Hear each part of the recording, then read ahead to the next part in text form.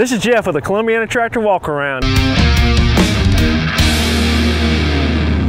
Today we're talking about the Scag Tiger Cat 2 Zero Turn.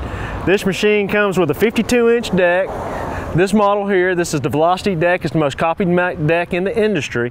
This machine also comes with a 26 horsepower fuel injected Kawasaki. Comes with a three year residential homeowner warranty. This is the toughest zero turn you can buy. This is also one of the most comfortable riding zero turns on the market. If you notice, it comes with the Scag suspension seat.